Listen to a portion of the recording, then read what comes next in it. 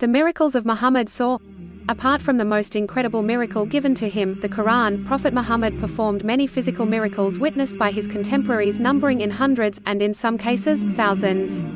The miracle reports have reached us by a reliable and strong method of transmission unmatched in world history. It is as if the miracles were performed in front of our eyes.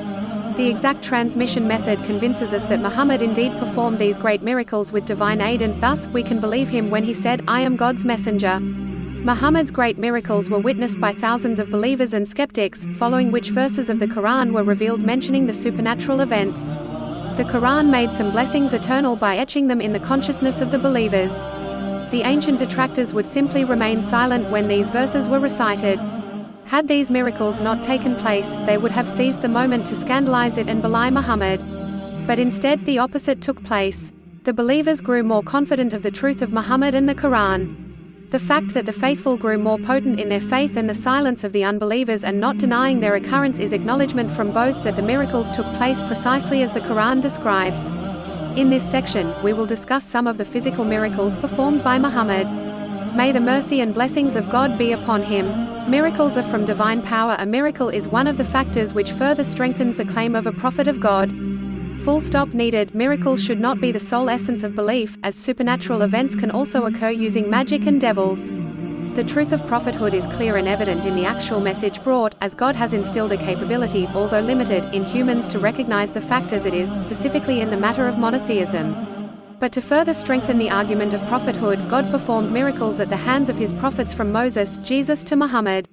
For this reason, God did not produce miracles upon the demand of the Meccans, but the wise God gave Muhammad the blessings he desired at the time he chose, and they say, We will not believe you until you break open for us from the ground a spring, or until you have a garden of date palms and grapes and make rivers gush forth within them in force and abundance, or you make the heaven fall upon us in fragments as you have claimed, or you bring God and the angels before us, or you have a house of ornament gold, or you ascend into the sky. And even then, we will not believe in your ascension until you bring down to us a book we may read. Say, Exalted is my Lord. Was I ever but a human messenger? Quran 17, 90-93 The answer was, and nothing has prevented us from sending this message, like the earlier ones, with miraculous signs in its wake, save our knowledge that the people of olden times only too often gave the lie to them, thus we provided for the tribe of Thamud the she-camel as a visible sign, but they wronged her. And never did we send those signs for any other purpose than to convey a warning. Quran 1759 When demanded ostensibly, God in his wisdom knew they would not believe, so he refused to show them miracles, now they swear by God with their most solemn oaths that if a miracle were shown to them, they would indeed believe in this divine writ. Say, miracles are in the power of God alone. And for all you know, even if one should be shown to them, they would not believe so long as we keep their hearts and their eyes turned away from the truth, even as they did not believe in it in the first instance, and so we shall leave them in their overweening arrogance, blindly stumbling to and fro. Quran 6, 109 to 110 we gather here some of the significant physical miracles performed by Prophet Muhammad. The miracles add up to over a thousand. See Muqaddimah Sharh Sahih Muslim by Al-Nawawi and Al-Madkhal by Al-Baihaqi. Splitting of the moon One of the times when God performed miracles at the hand of the Prophet was when the Meccans demanded to see an advantage from Muhammad to show his truthfulness. God split the moon into two separate halves and then rejoined them. The Quran recorded the event the last hour draws near, and the moon is split asunder. Quran 54 1. Prophet Muhammad would recite these verses of the Quran in large congregations of the weekly Friday prayer and the biannual Eid prayers. Had the event never occurred, Muslims themselves would have doubted their religion, and many would have left it. The Meccans would have said, Hey, your prophet is a liar, the moon never split, and we never saw it split. Instead, the believers grew more assertive in their faith, and the only explanation the Meccans could come up with was passing magic. The last hour draws near, and the moon is split asunder. And if they see a sign, miracle, they turn away and say passing magic, for they are bent on giving it the lie, being always want to follow their desires. Quran 54 to 1-3 The splitting of the moon is confirmed through eyewitness testimony transmitted through an unbroken chain of reliable scholars so many that it is impossible that it could be false. Hadith Mutawatir A skeptic might ask do we have any independent historical evidence to suggest the moon was ever split? After all, people worldwide should have seen this extraordinary event and recorded it. The answer to this question is twofold. First, people worldwide could not have seen it as it would have been daytime, late night, or early morning in many parts of the world. The following table will give the reader some idea of corresponding world times to 9 p.m. Mecca time, country time Mecca 9 p.m. India 11:30 p.m. Perth 2 a.m. Reykjavik 6 p.m. Washington D.C. 2 p.m. Rio de Janeiro 3 p.m. Tokyo 3 a.m. Beijing 2 a.m. Also, it is not likely that many people in lands close by would be observing the moon simultaneously. They had no reason to. Even if someone did, it does not necessarily mean people believed him and kept a written record of it, especially when many civilizations at that time did not preserve their history in writing. Second, we have an independent and remarkable historical corroboration of the event from an Indian king of that time. Kerala is a state of India. The state stretches for 360 miles 580 kilometers along the Malabar coast on the southwestern side of the Indian peninsula. King Chakrawarti Farmas of Malabar was a Chera king, Cheraman Perumal of Kodungallur. He is recorded to have seen the moon split. The incident is documented in a manuscript kept at the India Office Library, London, reference number, Arabic 2807, 152 to 173.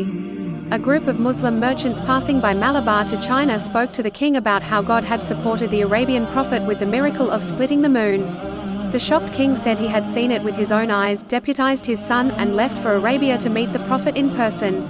The Malabari king met the prophet, bore the two testimonies of faith, learned the basics of faith but passed away on his way back and was buried in the port city of Zafar, Yemen. It is said that the contingent was led by a Muslim, Malik ibn Dinar, and continued to Kodungallur, the Chera capital, and built the first and India's oldest mosque in the area in 629 CE, which exists today.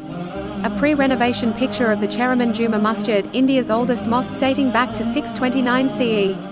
Image courtesy of www.islamicvoice.com. The news of his accepting Islam reached Kerala, where people accepted Islam. The people of Lakshadweep and the Maplas Mapalais, from the Calicut province of Kerala are converts from those days. Cheraman Juma Masjid, named after India's first Muslim convert, Cheraman Perumal Chakrawarti Farmas, after renovation. Image courtesy of www.indianholiday.com. The Indian sighting and the meeting of the Indian king with Prophet Muhammad were also reported by Muslim sources. The famous Muslim historian Ibn Kathir mentions the splitting of the moon was reported in parts of India. Also, the books of Hadith have documented the arrival of the Indian king and his meeting with the Prophet. Abu Sa'id al-Khudri, a companion of Prophet Muhammad, states the Indian king gifted the Prophet with a jar of ginger. The companions ate it piece by piece. I took a bite as well. The king was thus considered a companion, a term used for a person who met the Prophet and died as a Muslim, his name registered in the mega compendiums chronicling the Prophet's companions. Night journey and ascent to heaven.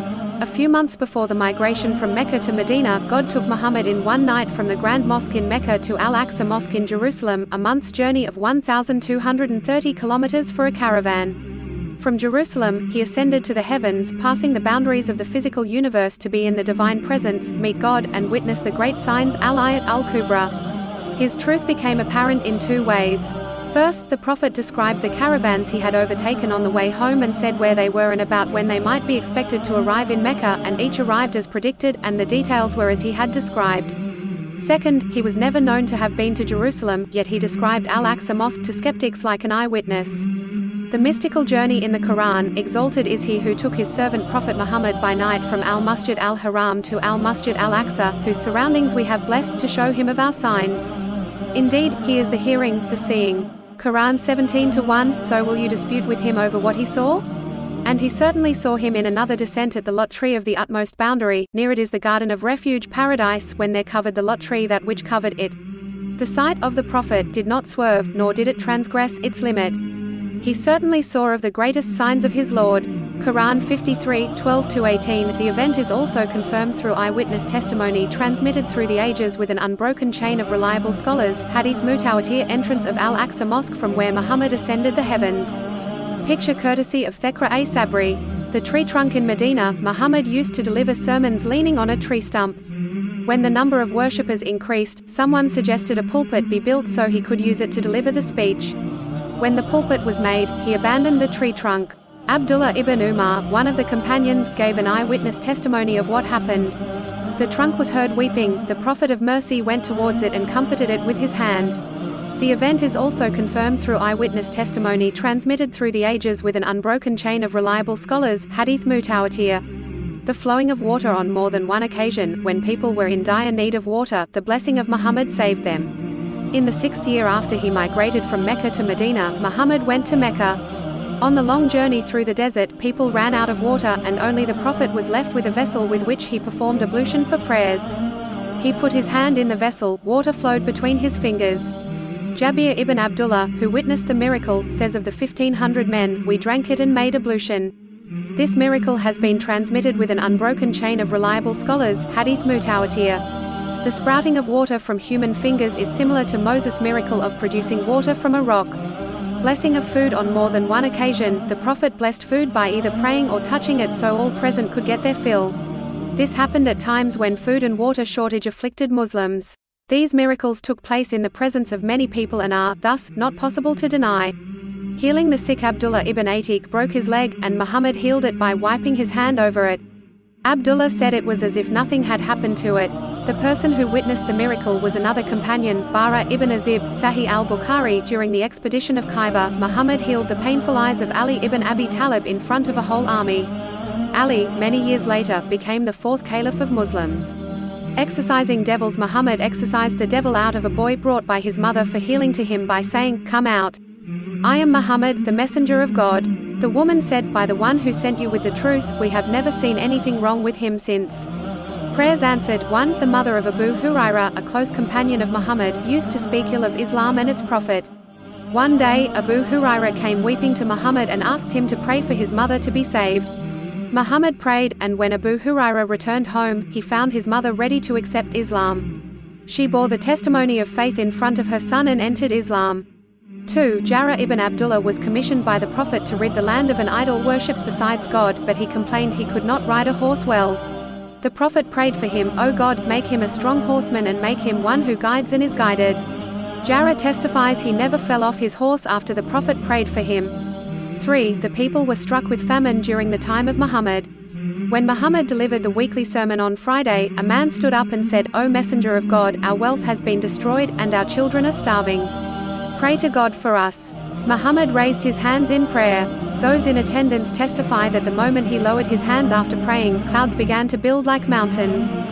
By the time he stepped down off his pulpit, the rain was dripping from his beard. It rained the whole week till next Friday. The same man stood up again, complaining this time, O messenger of God, our buildings are destroyed, and our property is drowned, pray to God for us. Muhammad raised his hands and prayed, O God, let it rain around us, but not on us. Those in attendance testify that the clouds withdrew in the direction he pointed. Clouds surrounded the city of Medina, but there were no clouds over it. 4. Here is the beautiful story of Jabir. He testifies that one time, the camel he was riding was exhausted because it was used for carrying water. The camel could hardly walk. Muhammad asked him, What's the matter with your camel? On finding out how tired the poor camel was, Muhammad prayed for the poor animal, and from that time, Jabir tells us, the camel was always ahead of others. Muhammad asked Jabir, How do you find your camel? Jabir responded, It is well, your blessing has reached it. Muhammad bought the camel from Jabir on the spot for a piece of gold, with the condition that Jabir rides it back to the city. Jabir says he brought the camel to Muhammad the following day on reaching Medina. Muhammad gave him the piece of gold and told him to keep his camel. It is no wonder why those around him who witnessed these great miracles performed in front of crowds were certain of his truthfulness.